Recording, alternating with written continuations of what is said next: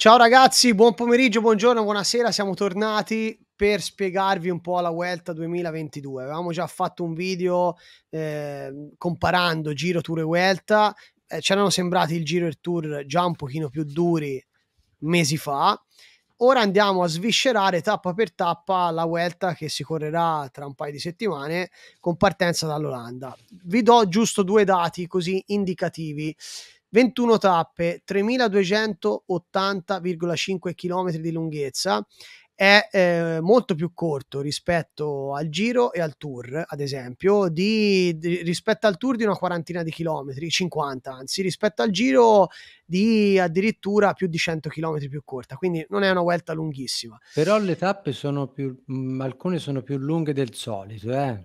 Quindi eh, rispetto, rispetto, al passato, al, sì, al passato, al passato sì. recente. Mm. Tappe per velocisti si va dalle 6 alle 7, poi vedremo nel dettaglio. Media montagna all'incirca 5, poi potrebbero essere qualcosina in più o meno perché se la vanno a giocare con le tappe di montagna, dove non ci sono dei tapponi di montagna. Comunque ne abbiamo selezionate 7, di cui comunque ci sono 8 arrivi in salita, quindi tra la media montagna e la montagna ci saranno 8 arrivi in salita, chilometri a crono 54,3, però qua c'è da dire che c'è la crono squadre che la andremo subito a vedere perché è la, eh, la prima tappa. Quindi, come chilometri, è il giro co- che ha più chilometri a crono rispetto a, al Giro d'Italia e al Tour de France, però c'è la cronosquadra che è molto diversa, chiaramente. Tante e... salite inedite, non si fanno i Pirenei, e questa comunque è una cosa importante.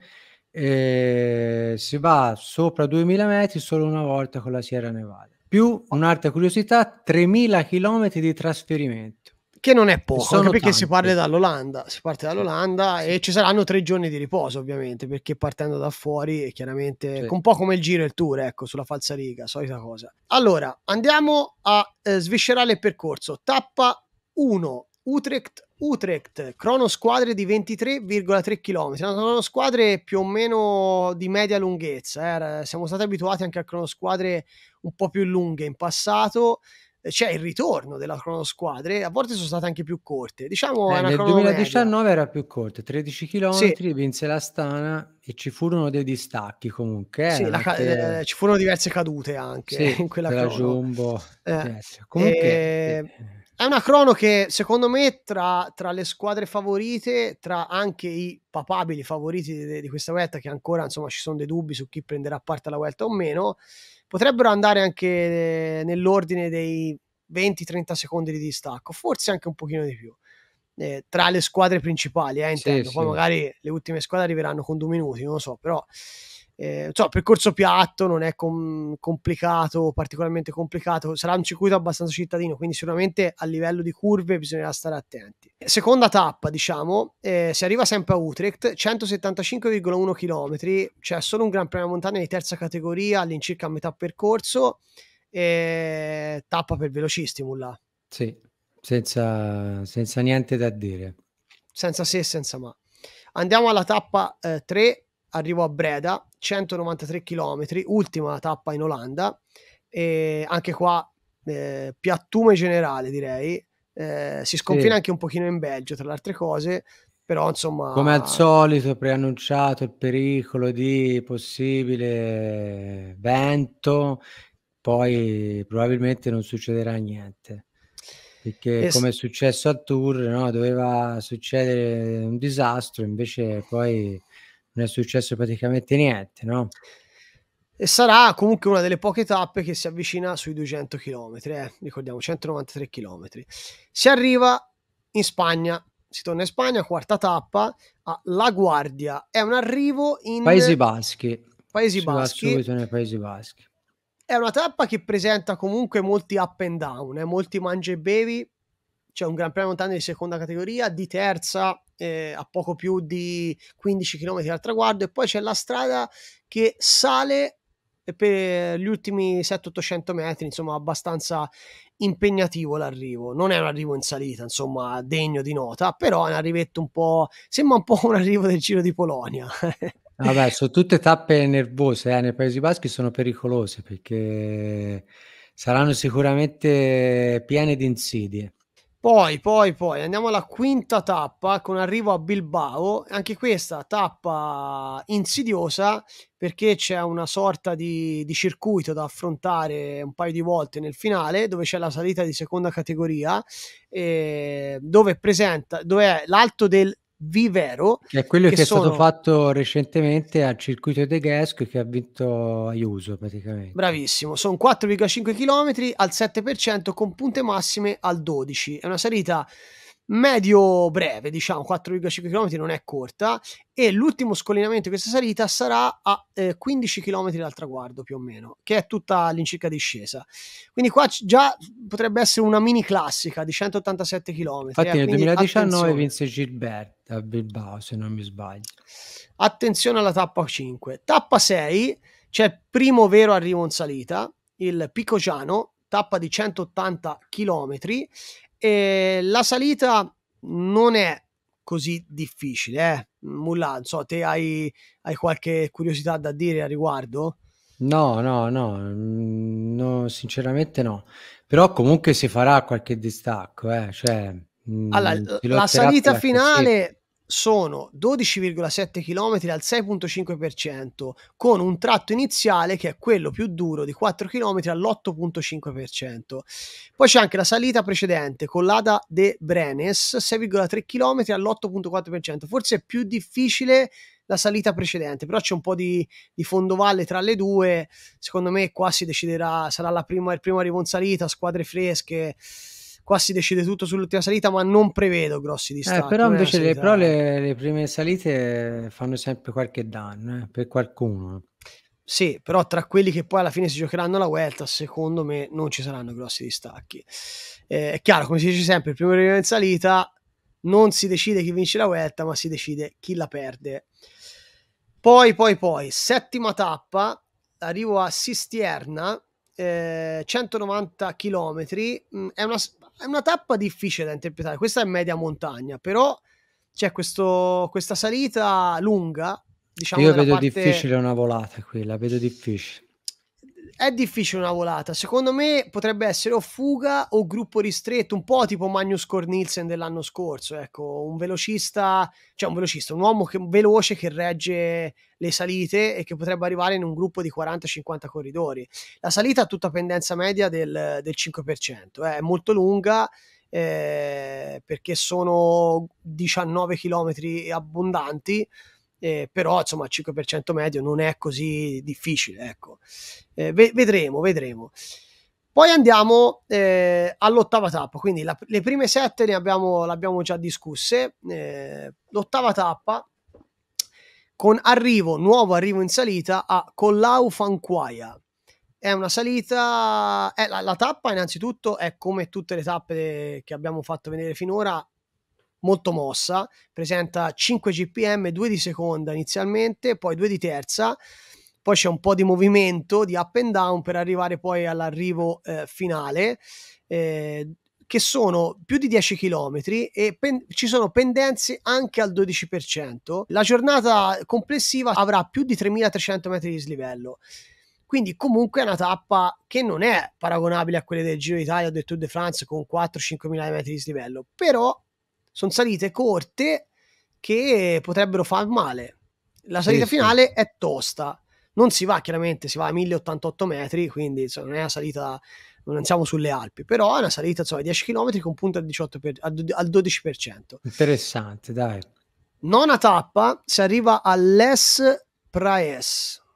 È un arrivo in salita, nuovo arrivo in salita, però tipico della Vuelta, tappa mossa nuovamente, sono 5 GPM, due, eh, uno di seconda, uno di prima, poi due di terza nella parte finale e l'arrivo in prima, di prima categoria. Allora, si era già fatto eh, nella Wet 2018 quando vinse Simon Yates. È lunga 3,8 sì. km e ha una pendenza media del 13% e punte al 20%. Quindi qua eh, è una salita tosta, corta perché sono 3,8 km, però insomma pendenza media 13%, tanta roba, eh, insomma. Sì, comunque una prima, se- cioè, una prima parte di, di Guetta comunque dura, eh, perché di volate ne abbiamo contate due sicure in Olanda, nei Sì. Paesi Bassi. Quindi, insomma, eh, tanta pianura non c'è, eh. poi saranno salite corte, comunque non, cioè si sale e si scende continuamente.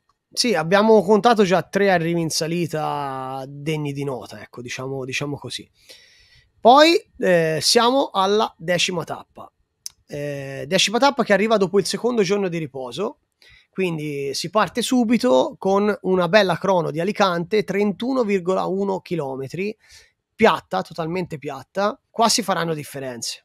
31 km a metà, come piacciono a me, quindi crono abbastanza lunghe, a metà eh, grande giro, creano dei distacchi importanti secondo me.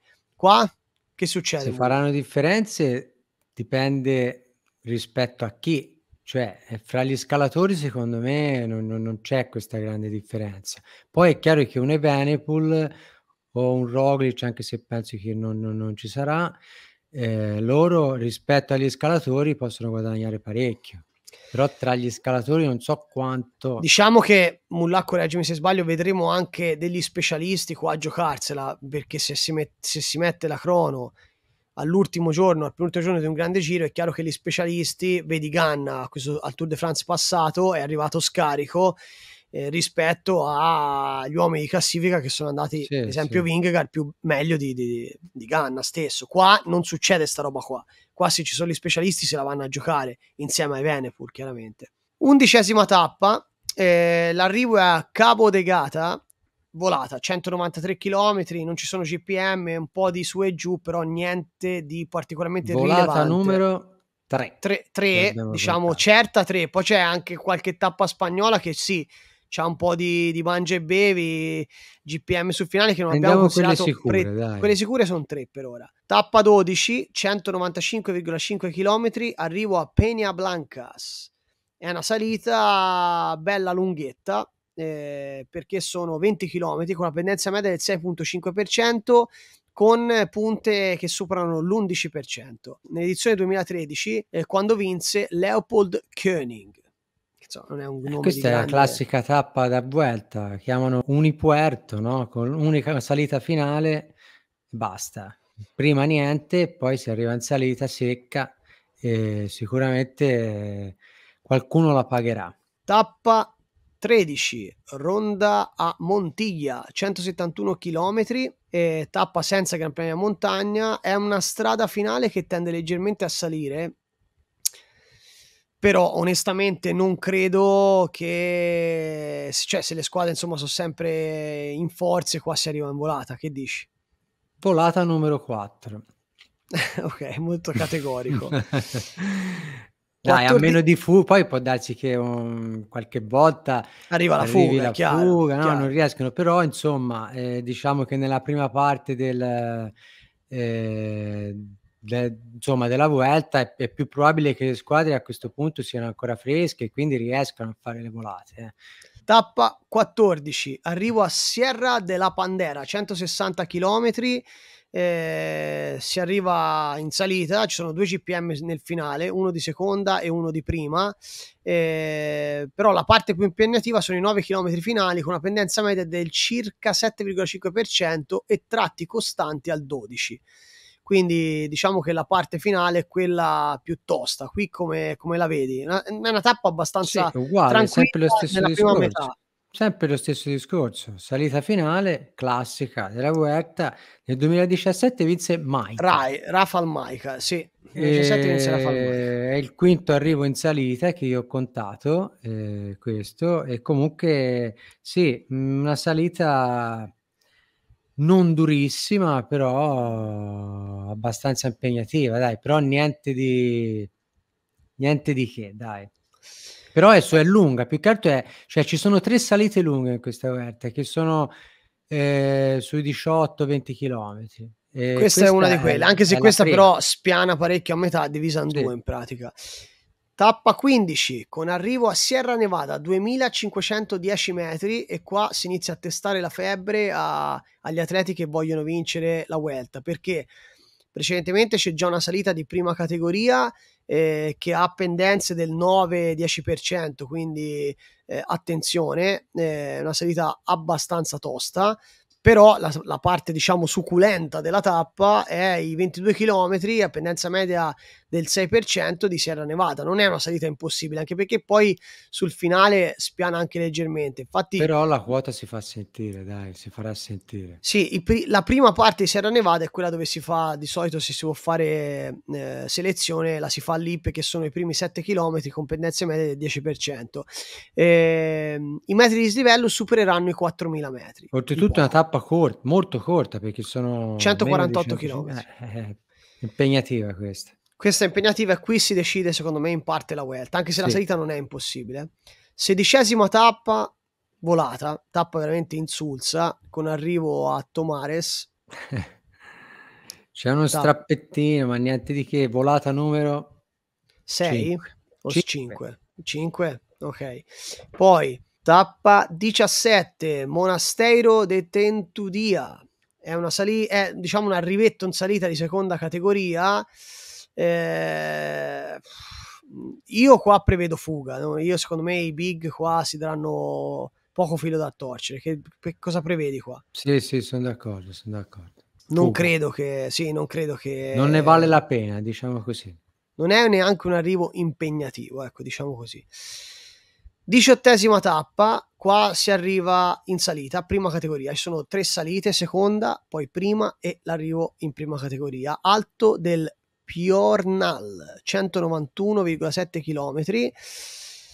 Qua è una tappa, non ci sono tantissimi metri di slivello, eh, attenzione, quindi non è una tappa impossibile. Eh, diciamo sono che tre versanti diversi della stessa salita. Sì, della, della stessa allora, salita. No, di cui sì. solo negli ultimi due si arriva fino in cima. Sì, è una salita che il primo, eh, il primo diciamo, versante, il primo attraversa il monastero di Iuzze di 13,5 km al 5%, il secondo la valle di Ervas con caratteristiche simili.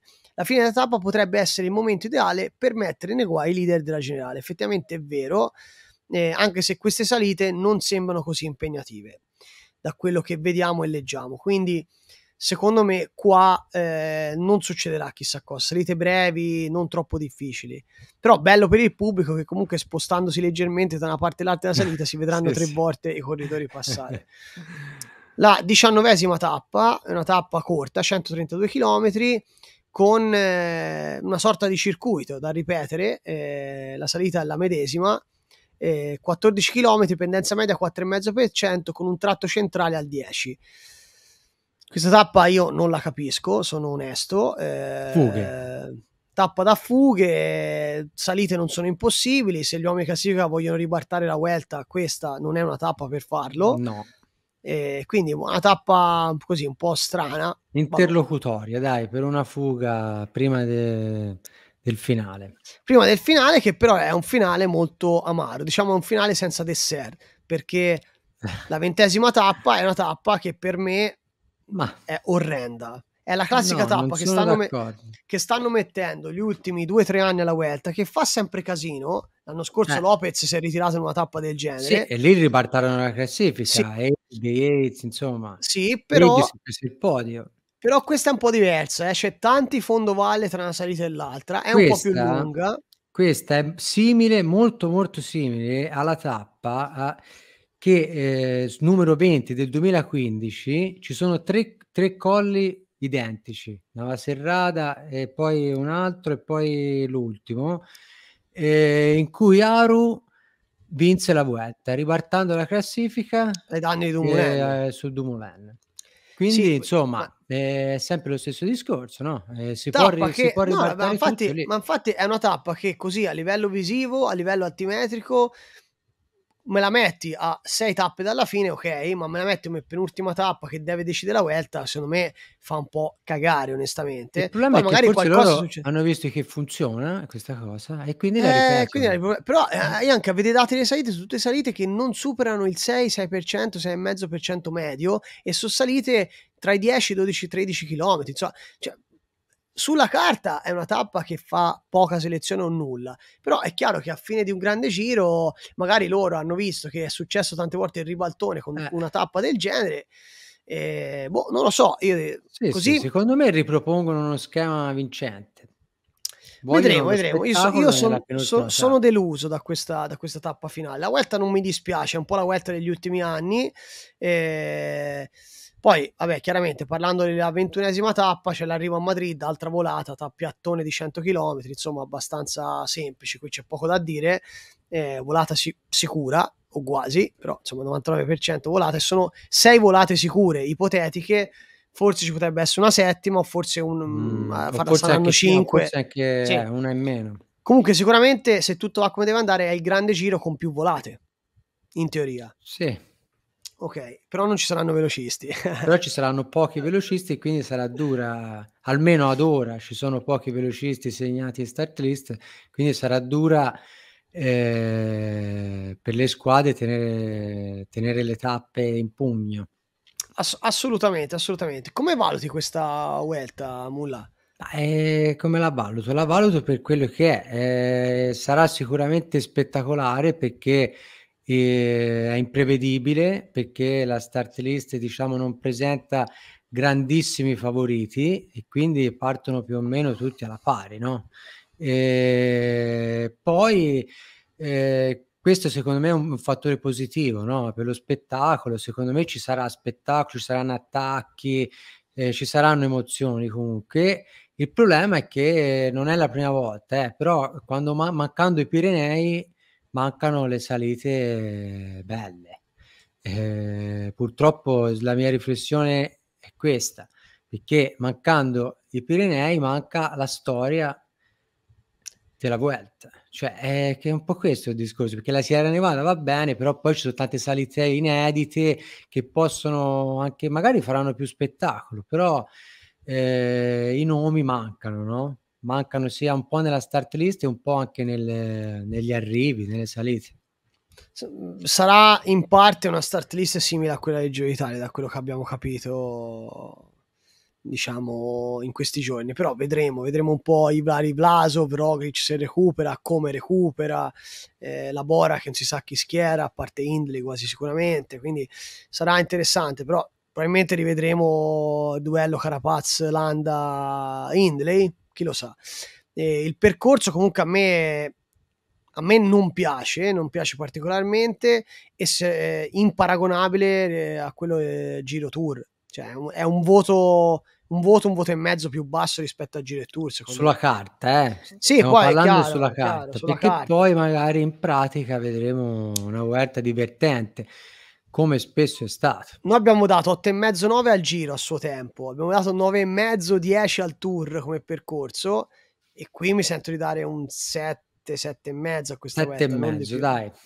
No, non di più, non di più. C'è una tappa di troppo per i velocisti, forse c'è manca un tappone con 4, 4 5, 5 metri di slivello. Purtroppo la Sierra Nevada che si prestava, purtroppo eh, è una salita. Unica finale praticamente, no? E quindi... Eh... Diciamo se la Sierra Nevada fosse stata messa in una tappa più complessa avrebbe preso uno spessore diverso anche eh. la salita della Sierra Nevada. Comunque, vabbè. Ragazzi, fateci Questione sapere... Gusti, eh, anche Ovviamente, fateci sapere nei commenti cosa, cosa vi piace e non vi piace questa volta e che voto li date paragonandola al Giro 2022 e al Tour 2022. Vi ricordo anche che è uscita la maglietta di Tacchetti con, che abbiamo fatto in collaborazione con Tacchetti che mh, rappresenta Porto de France con la stretta di mano Pogacar Vingegaard la trovate poi sotto in descrizione a, nel link e niente, ciao a tutti e ci si vede alla criticate prossima. la Vuelta nei commenti oppure criticate noi. Eh sì, oh, quello è la stessa cosa, va bene. Met- anzi, mettete non mi piace. Arrivederci.